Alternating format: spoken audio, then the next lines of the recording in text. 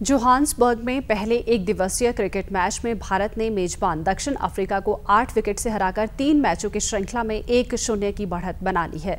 भारत ने सतारवें ओवर में दो विकेट गंवाकर 117 रन का लक्ष्य हासिल किया। इससे पहले टॉस जीतकर बल्लेबाजी करते हुए दक्षिण अफ्रीका की टीम 28वें ओवर में मात्र 116 रन पर सिमट गई। भारत के लिए अर्शदीप सिंह ने पाँच और आवेश खान ने चार विकेट लिए।